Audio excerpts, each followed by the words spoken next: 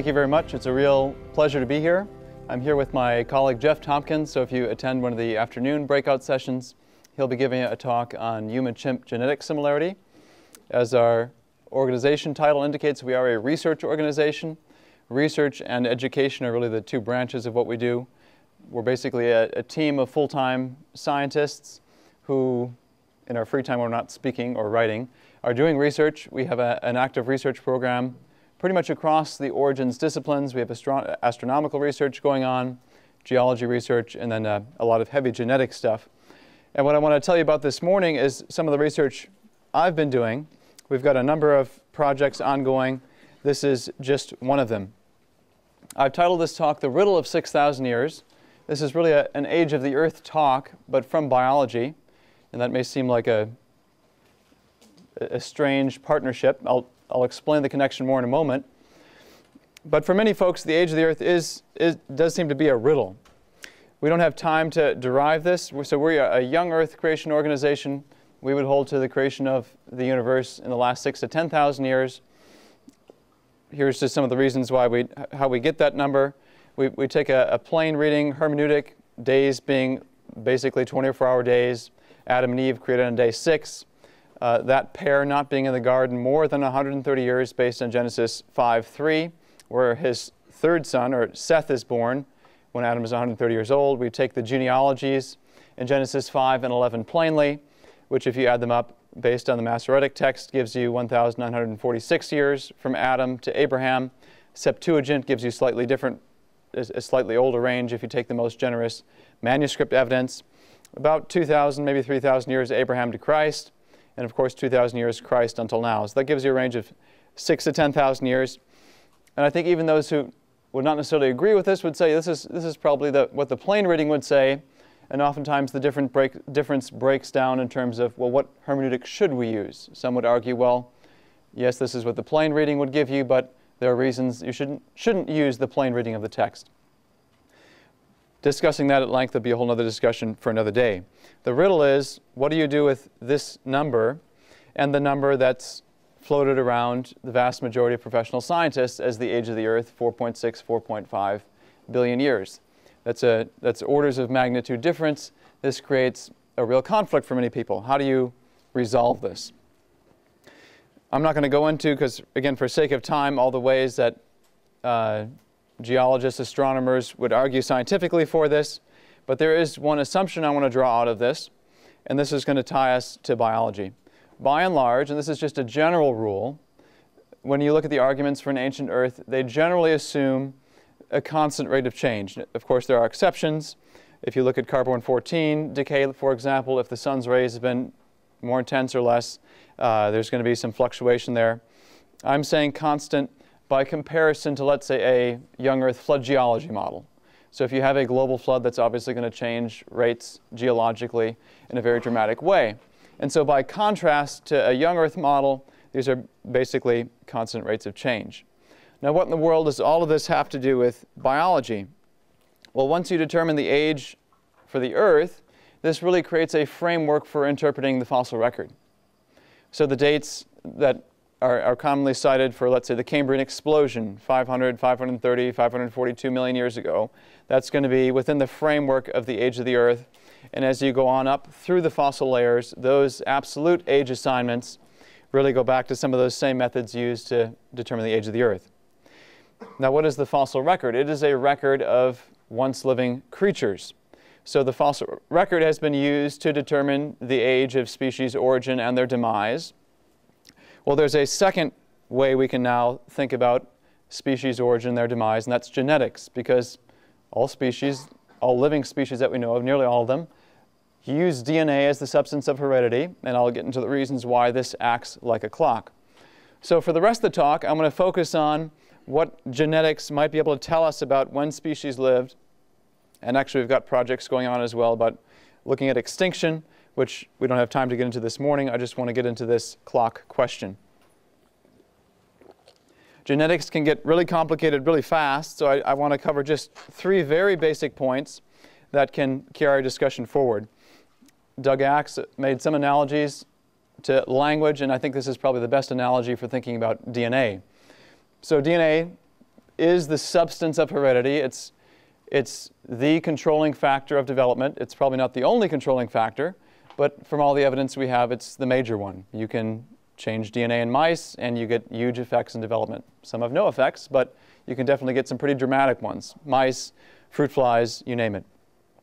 So DNA is like a book. Books are broken down into chapters, chapters into paragraphs, paragraphs into sentences. Sentences that consist of words with grammar and punctuation that carries meaning. And then ultimately, of course, that meaning is carried by the letters. And the DNA alphabet, unlike the English, consists only of four letters. That may at first pass seem like it's simpler than the English alphabet. However, DNA, as we discover more and more, is actually way more complex. Those four letters, there's three billion of them in our genome, in our book of instructions. 6 billion total, 3 billion from mom, 3 billion from dad. Those, those carry meaning in the, the way they're arranged. So this is the, a, a crude diagram of the structure of DNA, this twisted ladder-like structure. Think of the rungs of the ladder as the individual letters. So this is a, a huge molecule for humans, broken down into 46 chapters, 46 chromosomes. And these letters have an orientation. So we read English left to right. You read DNA in this case up and down, but you can read it bottom to top, backwards, forwards. The amount of complexity, the rules of grammar and punctuation at the molecular level, so to speak, are really boggling the mind. But for our discussion, all, all we really need to know is that DNA is this chemical alphabet. Those letters, arranged in a particular way, carry meaning. That's the first point to know. Second point to know is that DNA, as it's passed on each generation, is passed on imperfectly. So here I've drawn a very simple pedigree for sake of illustration. You have the grandparents' generation. They have a son. He marries a wife. They have a son. Three generations here. And I've tried to illustrate their DNA content next to each image. So grandpa has two copies of DNA. He has one from his mother, his father. Grandma has two copies of her DNA. Same with her son there's a lot of detail we have to skip over just because it gets complex and isn't immediately relevant to our discussion. But he reshuffles some of his DNA, passes on one copy. Grandma reshuffles her DNA, passes on some of, some of her to her son. But as they copy, reshuffle, and pass it on, mistakes happen. So a good way to think about this is let's say you're tasked with transcribing a book. You've got it sitting next to you, and you're tasked with transcribing and you're not allowed to stop and make corrections, and you're not allowed to use the spell checker. So you're just sitting here typing, typing away. There's a good chance you're going to make mistakes. And then if you take that copy, transcribe it again, more mistakes. And that's, that's really how generational inheritance happens. Grandma and grandpa, on average, pass on 60 mistakes. They make 60 typos. Now, compared to a 3 billion letter or 6 billion letter genome, book of instructions, that's, that's a pretty small fraction. And the same thing happens at this generation. He marries a wife, they copy, reshuffle their DNA, but make some mistakes in the process, and so pass on changes to their son. I have two kids. My daughter just was born in April. We've passed on mistakes to her. And so each generation, more and more mistakes accumulate, and you can see that as more and more time passes, more and more generations occur, the amount of mistakes is going to increase more and more to go from this generation to this generation, 60 have happened. Here another 60, which means to go from grandpa to grandson, that's a total 60 plus 60, 120. The rate of change for those 3 billion letters, that's, that's what's been published in the literature. So that's the second thing to note. This process of inheritance happens imperfectly. And that's supposed to be then, of course, the engine of evolution. Now, there's something else we want to talk about, though, not necessarily the engine of evolution. Our interest is time. Well, the fact that changes happen allows us to establish genealogy and to think of DNA like a clock. So let's look at the males in this genealogy grandpa, son, and grandson. We know the differences among them. And let's say you're a forensic investigator. And you're not told who these three individuals are. You're just told, here are three individuals, here's the DNA differences among them because with time and with more generations, more DNA mistakes occur, more typos happen, you can know that this relationship here and this relationship here are closer genealogically than this generation here. And if you're a forensic investigator and then you're told, well, there's three generations here, you can immediately say, this is the deeper genealogical relationship or the more distant one. One of these guys is the grandfather, one of them is the grandson. Now, you're not going to know without more information which is which, but you know that this branch of the relationship is the more distant one. And you can apply this now not just to immediate families, you can apply this to different ethnic groups. So let's say this guy is a Spaniard, and let's say you get a male from Russia and you get a male from Australian Aborigine. And let's just say, for sake of argument, that, we, that the DNA differences, the amount of mistakes, changes among these guys, is uh, what I've shown on the screen. So the Spaniard and the Russian have 500 differences between them. The Russian and the Australian, the Aborigine, have 1,000. And the Australian and the Spaniard also 1,000. So you can infer that these guys share a closer ancestor than either the Russian and the Aborigine or the Spaniard and the Aborigine. These guys have a great, great, great, great, great, great grandfather, however many greats you put in there. There are fewer greats in this relationship than either of these relationships. They have a more distant common ancestor. That's the basic principle. And so you can see then DNA differences measure genealogy, and they act like a clock. The longer that a species has been on the planet, the more differences accumulate over time. That's the basic principle we're going to we're to run with. Now let's think of this from a biblical perspective. Genesis 9 says all modern individuals are descended from Noah and his family. So Genesis 9, paraphrase, basically says, from these three sons of Noah, the whole earth was repopulated. So all the different ethnic groups we see all come from Noah and his family.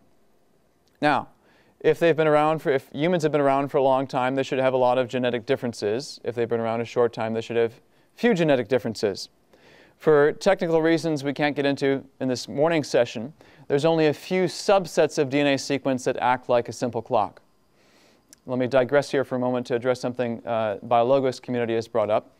They'll say if you look at the amount of genetic differences among humans today, there are too many for humans to have originated recently and to have originated from two people. There's a hidden assumption in that statement from an evolutionary perspective, all diversity is the product of typos. That's the engine of evolution. That has to explain where everything came from. What's not considered is the possibility that God may have created Adam and Eve with some genetic diversity in the beginning. So, one other detail that we sort of glossed over we all have two copies of our DNA sequence one from mom, one from dad, and one copy from each parent gets passed on each generation. So Adam would have had two copies of DNA. Eve would have had two copies of DNA. Why should they have been four identical copies? You know, there's some chromosomal differences, male, female, X, Y. But that aside, the rest of the DNA, should that have been identical? My guess is probably not, because if it was, all their descendants would have been clones. And so I think it's reasonable to say there was genetic diversity from the start. And if you then allow for that, you can easily explain genetic diversity uh, across the genome for these different ethnic groups. So the, the BioLogos arguments, all of them, are based on some sort of erroneous assumption either about Adam and Eve making clones or assuming humans and chimpanzees do have a common ancestor. And again, Jeff Tomkins will address some of the genetics behind the human ape question this afternoon. End of digression. Back to our story. What actually functions like a clock? Theoretically, the Y chromosome could. How many Y chromosomes were there in the beginning? One. Men are XY, females are XX. One male in the beginning. All Y chromosome differences among men today are the results of typos. We don't have a good measure of the rate of change, though, for the Y chromosome. We have to go to a different clock. One more digression here, and this is cell biology. So, as you're sitting here this morning digesting your breakfast, You've chewed it up, passed it to your stomach, stomach to the intestine, intestine to the bloodstream, bloodstream to cells. The cells pass it on to mitochondria, which are basically little energy factories. Simplified explanation, they, they take those chemical constituents, break them down into their component parts, extract the energy from those chemical bonds, allowing you to breathe and allowing your heart to beat. So you can praise the Lord for mitochondria. They also have, for purposes of our discussion, a tiny little section of DNA that codes for some of those proteins involved in breaking down uh, foodstuffs. It's only about 16 to 17,000 letters long in humans. So that's a tiny fraction compared to 3 billion. But it's, it's very important for our discussion. So all of us have it because all of us are sitting here alive. Males and females have it. But only females pass it on, at least for the species we've been able to observe, at least for humans. Females pass it on. So my two children got their mitochondrial DNA not from me, but from my wife. So at the time of the flood, if we're just thinking from this perspective, Noah and Mrs. Noah, whatever her name was, both had mitochondrial DNA, but their three boys got their mitochondrial DNA from mom, not from Noah. Well, where did their children get their mitochondrial DNA from? Not from these boys, from their wives. Now, where did their wives get their mitochondrial DNA from? Their mothers, and it's, I don't think Scripture indicates whether that was Mrs. Noah. My guess is unlikely that these were sisters. My guess is they were not. So ultimately, their DNA comes from and traces back to Adam and Eve.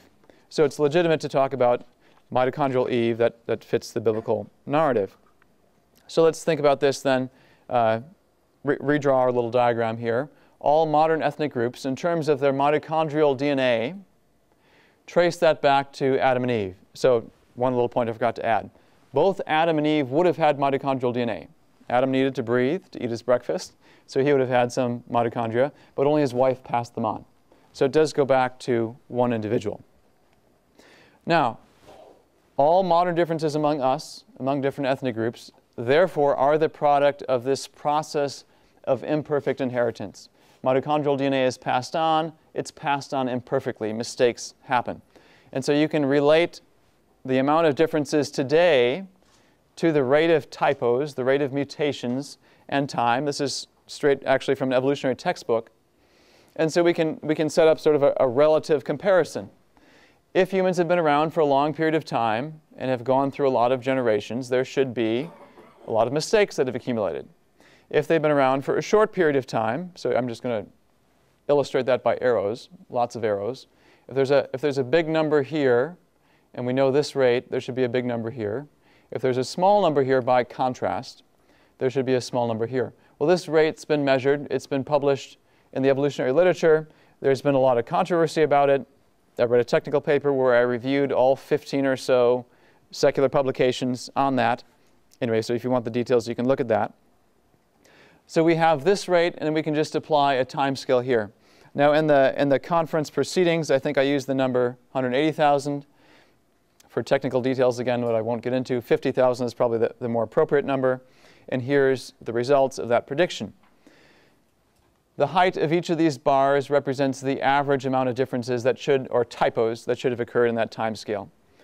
One more technical detail, we're looking at a small subsection of mitochondrial DNA because that's the only section for which this rate has been measured. So if the numbers uh, don't look immediately obvious at first pass, there's a technical reason behind it. Anyway, differences equals rate times time. So after 50,000 years, there should be on average about 50 differences among modern humans. That black bar represents the best possible guess. So in, in technical terms, that's the 95% confidence interval not the standard deviation. So this is the best possible range of guesses. There's a range because there's always some sort of statistical error associated with biological measurements. So you have anywhere from 35 to about a little over 80 differences should be present among modern humans if they've been around 50,000 years. You can do the same calculation from a, a young Earth perspective. So I'm using 10,000 years sort of as the upper limit. And so if humans have been around only 10,000 years, if that's when mitochondrial Eve lived, then there should be a range of 7 to 16 differences. And what do we actually see? On average, about 13 differences falls right in the range here, and it's lower than what this predicts. It's not a huge difference, and so this may not be that worth, may not be worth talking about if that's really how small the differences are. Well, there's three other species for which the mutation rate in mitochondrial DNA has been measured. The water flea, uh, the genus, this is Daphnia pulex, the fruit fly, Drosophila, and roundworms. And we can use a similar sort of scenario to make some predictions. So let's assume for sake of argument, when God created water fleas, he created two. Now my guess is he created a lot more than that, but it makes the math easier if you just assume two. So we're going to assume there were two water fleas in the beginning. Evolutionists would say there, were, there was probably a, an ancestral pair or some sort of ancestral population from which modern water fleas descend. And so that's sort of time zero for the origin. And over time, then, modern water fleas having a common ancestor back then have accumulated differences. Water fleas pass on the mitochondrial DNA. They do it imperfectly. And so differences accumulate over time. And you can use that same equation to relate the amount of differences over time uh, to the mutation rate. And once again, we'll use the same sort of comparison. If they've been around a long period of time, this multiplied by the rate should give a lot of differences. If they've been around a short period of time, you multiply a small number by the rate, you should get a small number of differences. And then here's the numbers. So from the evolutionary literature, they'd say water fleas evolved 7.6 million years ago. In that time period, they should have accumulated an average of 140,000 differences. I'll talk about the meaning of that in a moment. Again, the black bar represents the 95% confidence interval, or the best possible range of guesses.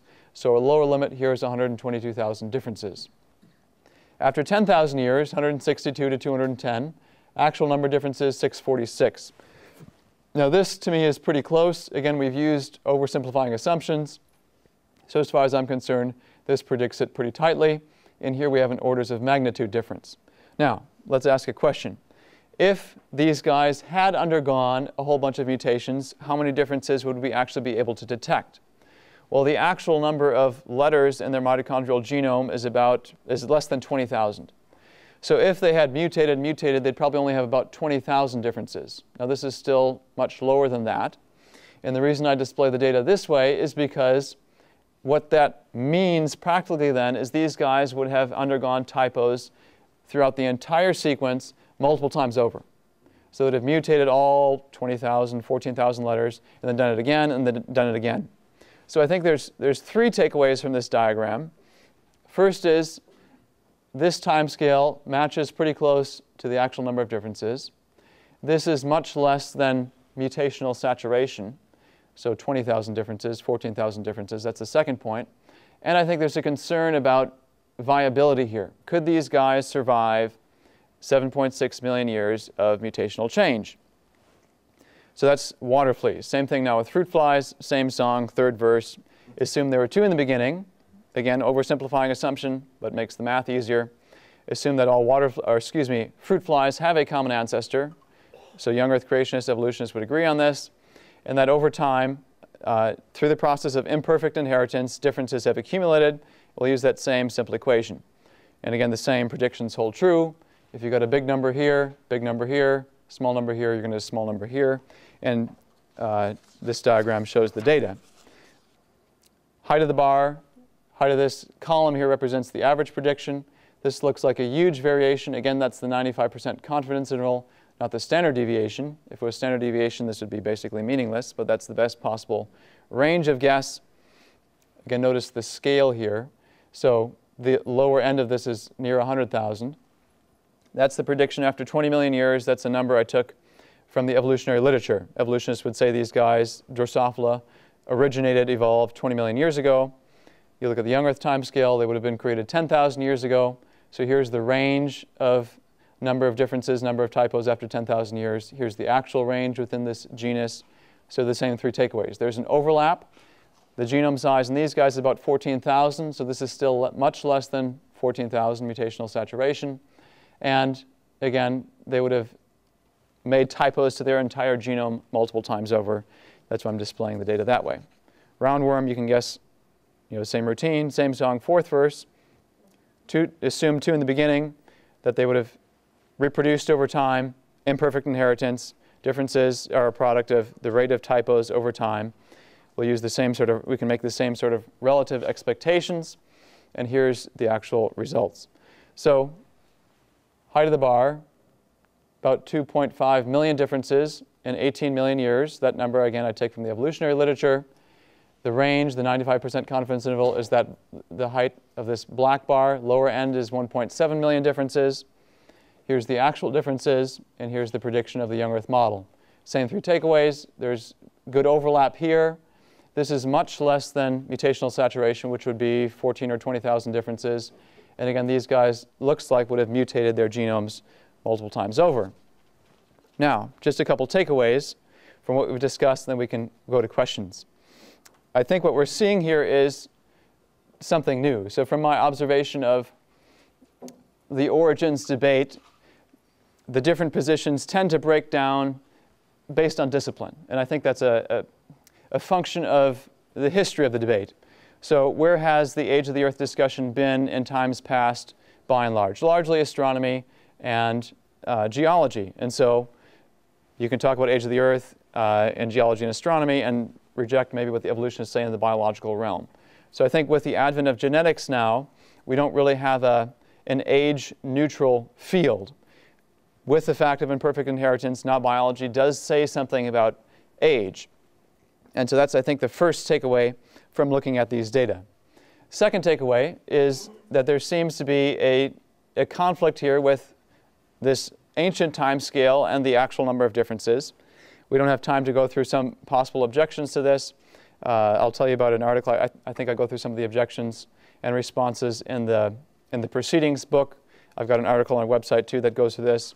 And thirdly, we see that it confirms the young Earth timescale. So how do we move the discussion forward?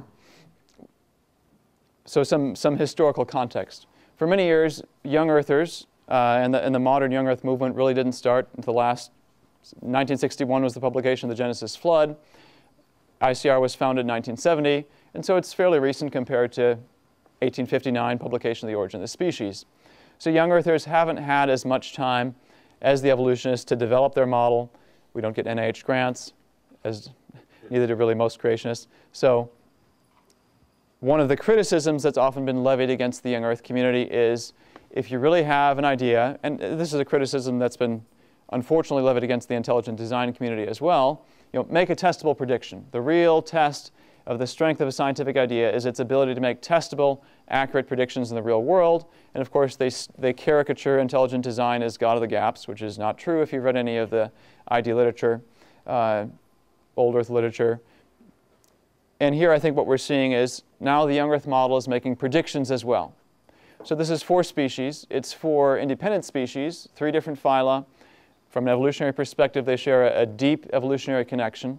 So I think we've got a, a significant statistical sampling, obviously much more we could do. Well, here we have a venue then in which we can make predictions. These, these are really retrodictions. I'm taking the published rates of change from the evolutionary literature and then making some retrodictions, seeing how it lines up. So the real test, the real challenge going forward is, can the evolutionary community make testable predictions? And let's think about the significance. We're talking about the engine of evolution. If there's anything that should confirm that life evolved by natural processes, mutation should bear it out. And what we're seeing is mutations don't bear it out. And in, in fact, the success of these retrodictions gives me confidence that I'm willing to make predictions about species for which the rate hasn't been measured.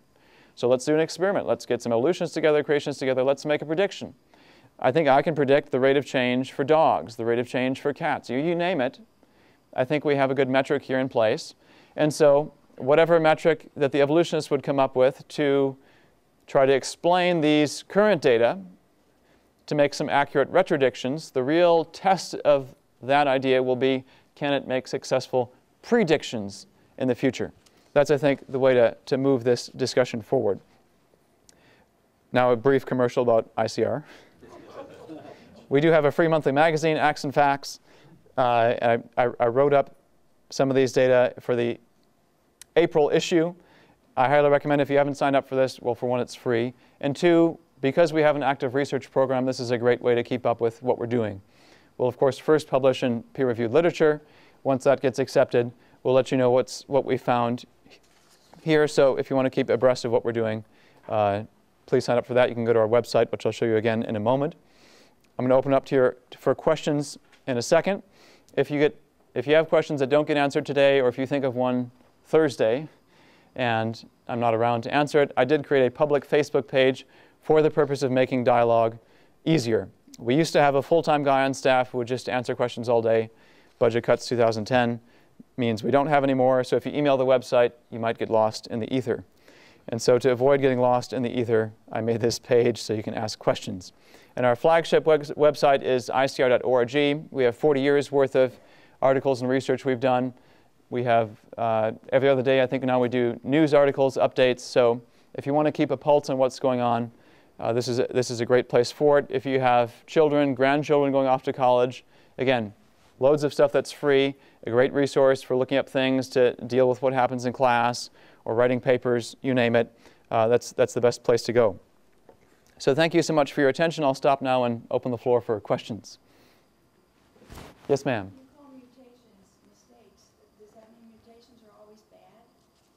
So that's a good question. Are mistakes always bad? And that's a, let me try to answer that a couple different ways. So empirically, are mistakes always bad? Actually, let's, let's back up even more. How do we identify mistakes? So I alluded to earlier that evolutionists will assume that every difference is a mistake. And they've excluded from the start, for example, with humans, the possibility that God created differences. Now, how am I identifying mistakes here? By looking at differences. And the reason I'm calling these mistakes is because I think, from a young Earth perspective, and even from an evolutionary perspective, we'd both agree there was a single sequence in the beginning. There's really no possibility, it seems, for created differences, and so therefore, all differences we see in mitochondrial DNA are mistakes. Now, that's again a tiny fraction of DNA the vast majority of our DNA we haven't talked about, and that's where I think these created differences show up. Now, a practical application. There's the HapMap project that's ongoing. NIH is, I think it's the NIH that's funding it, looking for genetic correlations to disease uh, with all this genetic data, trying to find what are the molecular components that underlie cancer, et cetera. So motivation's good, but I think what they're doing is assuming that every variation is a mutation and therefore could be bad. When I think the vast majority of what we're seeing has been created and isn't bad. So I'm anxious to see where these data go. And so one other big picture ramification of that, I've, I've largely viewed the creation evolution debate sort of as an isolated discussion over origins with few present day ramifications. Well, here's here's an issue for which you probably have present day ramifications. Were we going to go looking for the underlying causes of disease? One other piece of uh, line of evidence to consider. When it comes to this 3 billion letter sequence in humans, uh, based on what the, what, what the community has published so far, there's what they classify as common variants, and rare variants, and it's basically a, a, mathematical cutoff. If it's present in this percentage of the population, it's common. If it's uh, present in this percentage or lower, it's a rare variant. Most of those common variants, or probably all of them, stem back to Adam and Eve. And I think from discussion with a, a colleague of mine, most of them come in only one of two copies. There's four possible varieties for every position, four letters of DNA. Most only come in two, as if there was two varieties in the beginning. There's been recent publications where they say these rare variants have an origin in the last 5,000 years, which I think is consistent with a mutational origin from Noah and his family. And these are also the ones that I think are being associated with disease, if I'm remembering the data correctly. So, back now to your original question, how do you know what's a mistake and is it bad? If you can reliably identify a mistake, or a change? That's really the question. Let's choose a neutral term. If you can accurately identify a change, my guess is it's probably degradative or neutral. So in the origins discussion, especially in the young earth community, there's often been the idea thrown around that most mutations are bad, which is an attractive idea. I just haven't seen a publication that actually quantifies that. Uh, my guess is a lot of changes are probably functionally neutral. Some are obviously deleterious. You can look at sickle cell anemia, you can look at cystic fibrosis, clear genetic origin. You can trace it to this DNA change. But, the, but really, I think it's an open question. Uh, for the purpose of our discussion, I think from either an evolutionary or a creation perspective, they're mistakes, they're changes, they're not created. But when we're talking about the vast majority of other differences, now we're getting into a sticky question. So I don't know if that answers it. That was a long answer to a short question, but it gets very complicated very quickly. Yes? Uh, the section of, of, mitochondrial DNA that you're measuring these mutations on, yes. is there a known function for that section? So, the, so, the, so for humans, it was just the D loop. For the other species, we're looking at the whole genome. And mitochondrial DNA is somewhat different from the 3 billion letters because it's very gene dense. So virtually the whole most of the 16 letters codes for a protein, whereas the vast majority of the 3 billion letters uh, is what evolutionists thought once was junk because it didn't look like it coded for proteins. Now we know it is functional. But uh, anyway, so most of that sequence we know does something because it codes for a protein. Uh, and your original question was, say it again. Evolutionists argue that there's a functional constraint on how many mutations can Yes, that's what I, that's what I ant- anticipate, uh, and I think I put that in the, in the proceedings. So one response might be, well, selection is going to eliminate those that are deleterious, which is a, a, a legitimate response. I think the real challenge then is, okay, can you make a prediction based on the time scale and the, the element of selection that accurately models the amount of differences? So sure, and even as a young Earth creationist, I'd say there's probably some things. I mean, I'm in a sense, I'm kind of shocked that you can actually get this many differences that survive, because mitochondrial DNA coding for proteins that perform essential functions in the cell, energy generation. You know, you knock out mitochondria, you're going to die. How can these survive? So, yes, surely selection must play a role. I think the challenge is, based on a selection model, can someone make a prediction about what we see today?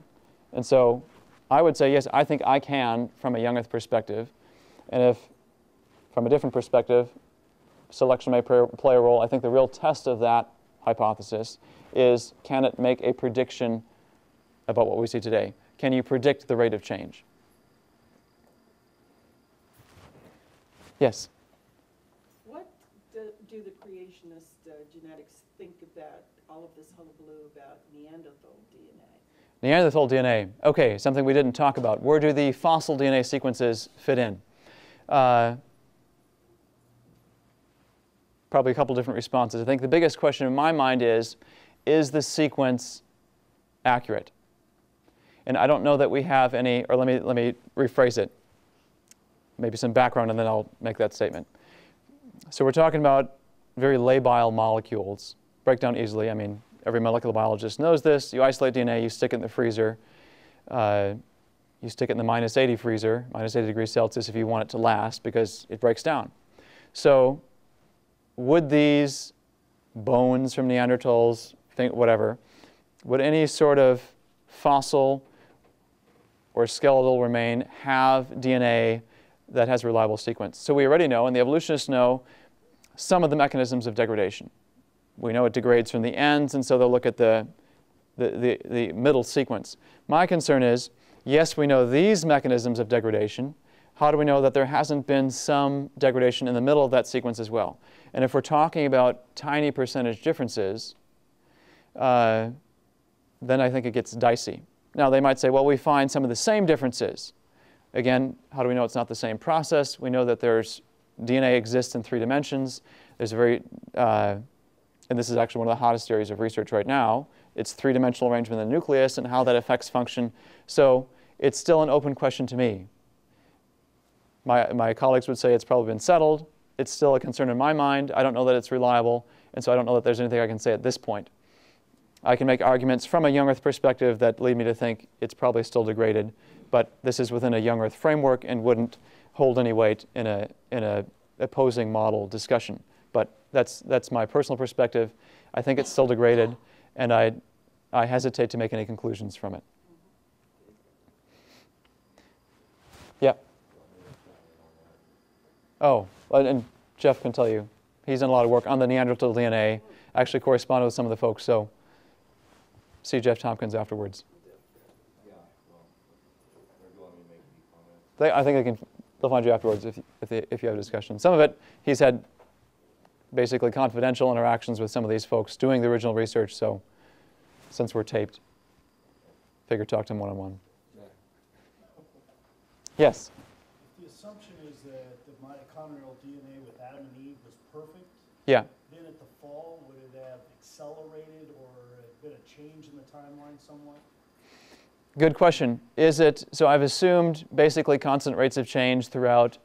Would it be legitimate to invoke a faster rate of change or a change in the rate of change? Yeah. to, you know, as Paul saying, the earth is groaning, there was Yeah. last night in the discussion. We we clearly assumed by the fall that there was some kind of uh, change in, and again, digression Yeah. in a lot of things. Yeah. So maybe another question to ask before that is was DNA inheritance perfect or would it have been perfect in a pre-curse, pre-fall world? I don't know. Again, I think we're thinking about from a young earth perspective a small window of time. They weren't they weren't in the garden more than 130 years. So how would that affect modern diversity today? I don't know that it would in a mathematically relevant sense. So the actual number of differences among modern humans is very small. The average rate of change is one every other generation or one every fifth generation. So if no generations have passed before the fall, I don't know that we can get at that question from a young Earth perspective. Surely something did happen, something biologically relevant, but I think the comparison is pre-fall, post-fall, and I don't know that we have any access to changes that were happening in, in the pre-fall world, at least given our current tools. Yes? Why is the mitochondrial uh, DNA passed just through the female? Why is it passed just through the female? I don't know. I don't know the functional reason for it. Uh, that just has what's been discovered. Good question.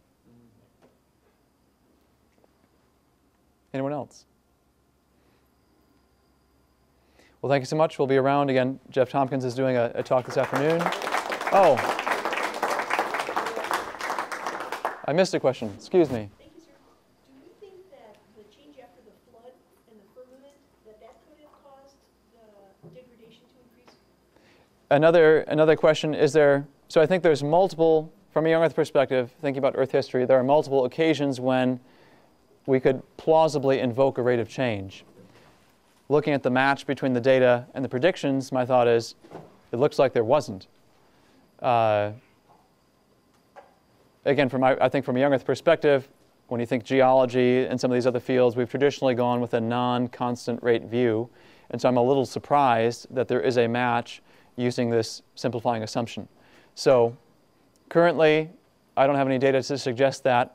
Uh, part of the challenge is with biological data, there's a lot of statistical variability. When we're thinking about modeling pre-flood, post-flood, two-thirds of history on a young Earth timescale is post-flood, one-third is pre-flood, and do we have the mathematical precision to, re to resolve that? Currently, I don't think so. If you do a power calculation, you need a, and given the slow rate of human mutation rate, you need an enormous amount of individuals. Uh, and then questions of population structure begin to play a role. If it's only every other generation, chance effects play a role. So I don't know that we can answer that with, with precision currently. One other one that I missed, I guess. I, I wanted to know where you came up with the number of 130 years in the garden. Oh, so Genesis 5 3, I think it's Adam lived 130 years, had a son named Seth. And so he's at least son number three. Therefore, the events of Genesis 4 and of Genesis 3 must occur before that. Can we assume that uh, Adam couldn't have stayed away from Eve too long? Uh, and he pursuing her, and they probably came after the fall, the first two sons? Oh, I'm saying uh, as an upper limit. So my guess is they probably weren't there that long. I, I'm, I, what I, I, I phrase it that way because someone asked me, well, could you put a long period of time there? I'd say from a young Earth perspective, I don't think so because we have that number. And so you just you subtract nine months, nine months, and so you can go backwards. But yeah, did, were they kicked out of the garden fast? My guess is probably yes. And so no more than 130 years or no more than 127 years, or you go even further back because my guess is Cain and Abel were young adults when they had their fatal, fatal encounter. But I picked that number because that's the number of Genesis 5.3, and that to me is an upper limit from which you can easily probably uh, dial it back down.